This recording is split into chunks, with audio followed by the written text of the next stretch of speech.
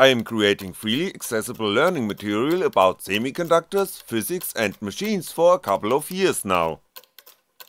The question I'm working on in the machinery section of my projects is how can you build a CNC machine if you don't already have access to a workshop with high-tech machinery? To answer that question I'm creating advanced tools using basic tools. The most useful machine so far is an open CNC router that made it to the finals of the Hackaday Prize 2016 built with basic tools like a hacksaw, a drill press, tappers and files. Besides the low-tech tools, the materials needed to make a copy of that machine are also commonly available.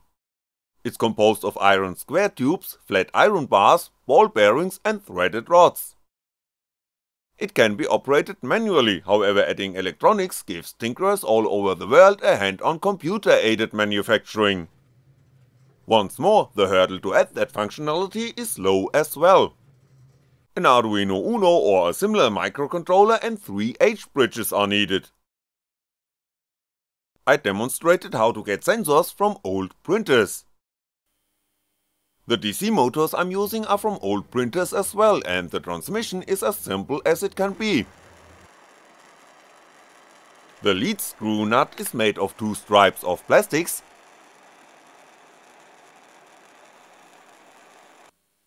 that are mounted with a compensation of wear included.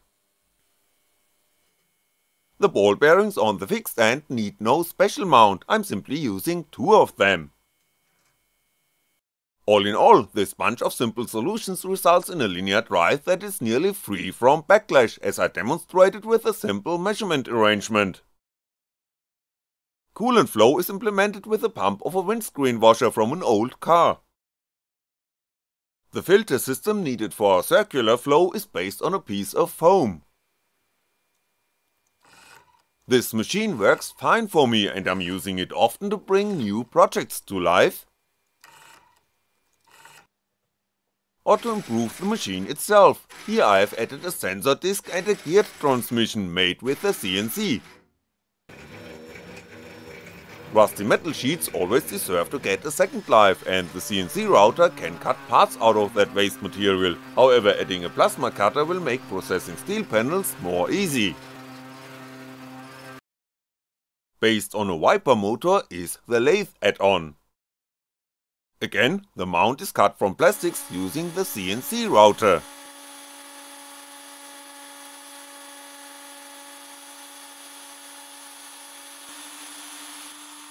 I'm operating the CNC manually because there's currently no software implementation of the lathe add-on. The spindle motor and the drill are both on the third axis of the CNC, so in principle there is no need to stop the lathe for changing tools, even more tools can be added. The finish of the coupler is not perfect considering German manufacturing standards, however it works, and with small pieces like that you can reuse even more motors from scrapyard.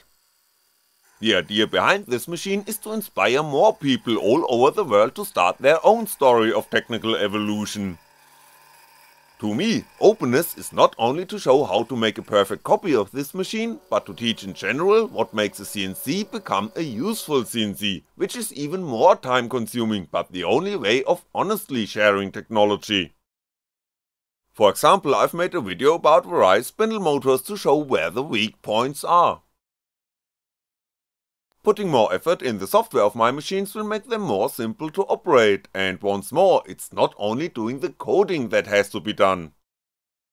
It's sharing how to read sensors, and switch motors, and so how to build control loops by software. The rusty metal sheets cut with the CNC are core elements of a demonstration of a reluctance stepper motor. With support from the Shuttleworth Foundation I could speed up my mission of developing easy to replicate core technology for advanced workshops all over this planet.